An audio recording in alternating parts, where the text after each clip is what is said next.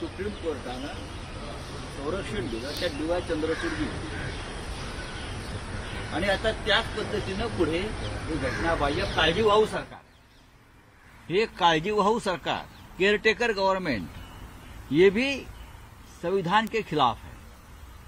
हे सुद्धा काळजीवाहू सरकार घटना सव्वीस तारखेला मुदत संपते संपलेली आहे विधानसभेची.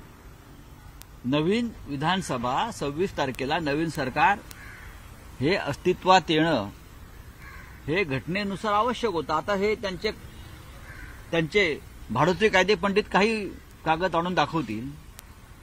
पण आम्ही जर असतो तर एवढाला राष्ट्रपती राजवट लावली असती मी वारंवार सांगतो.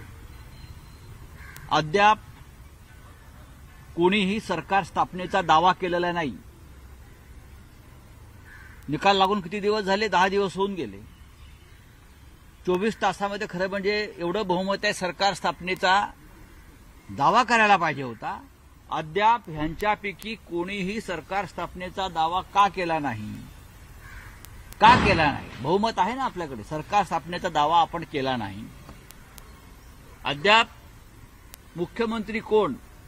भारतीय जनता पक्षाचा विधिमंडळ पक्षाचा नेता कोण? या संदर्भात निर्णय झाला नाही. इतका मोठा पक्ष इतके मोठे नेते इतकं मोठं बहुमत तरीही विधिमंडळ पक्षाचा नेता ते अद्याप त्यातून निवडू शकले नाही. सरकार स्थापनेचा दावा नाही अद्याप राज्यपालांना कोणी भेटलेलं नाही जाऊन सरकार स्थापनेसाठी. आणि राज्यपाले चालू देतात काळजीवाहू सरकार घटनाबाह्य. आणि त्या पक्षाचे प्रांताध्यक्ष बावनकुळे सांगतात पाच तारखेला शपथ घेऊ हे का राज्यपाल आहेत का? हे म्हणतात पाच तारखेला शपथ घेऊ. यांना राज्यपालाचे अधिकार दिलेले आहेत का? आम्ही पाच तारखेला शपथ घेऊ. राज्यपालांनी सांगितलंय का? राज्यपालांना तुम्ही सांगितलंय का? राज्यपालांनी कळवलंय का? सरकार स्थापनेचा अद्याप दावा करायला हे तयार नाहीत. का? घाबरलाय का तुम्ही? कशा करता आपण सरकार स्थापनेचा दावा करत नाहीयेत? ही अत्यंत गंभीर स्थिती घटनात्मक पेच प्रसंग काळजीवाहू सरकारच्या बाबतीत सुद्धा. या महाराष्ट्रात पुन्हा पुन्हा निर्माण होतोय. याला सर्वस्वी जबाबदार जस्टिस डी वाय चंद्रचूडच आहेत. सुप्रीम कोर्ट आहे.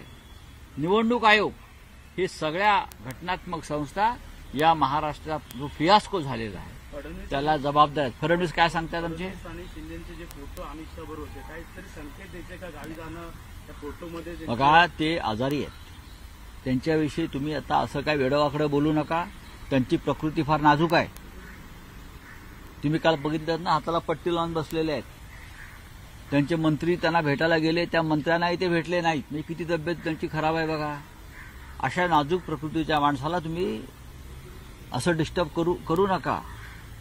पाच तारखेला ते येत आहेत का? शपथविधीला? की एअर अँब्युलन्समधून त्यांना यावं लागेल? अशा चिंतेमध्ये अनेक लोक आहेत. त्यांच्याकडे काल डॉक्टर गेले होते असं मी वृत्तपत्रामध्ये वाचलं.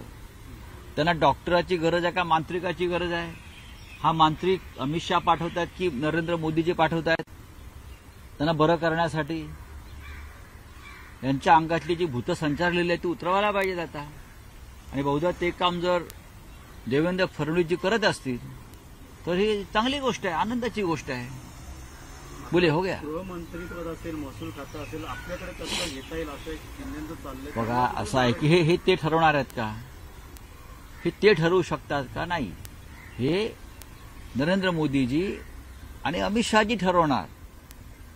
यांच्यासमोर कोणती हाडकं टाकायची आणि तरी काय चघळायचं हे यांच्या हातात नाहीये. यांच्या हातात फार तर रुसवे फुगवे आणि मग शरणागती.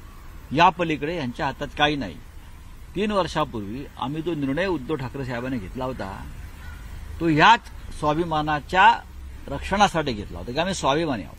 आम्ही तुमच्या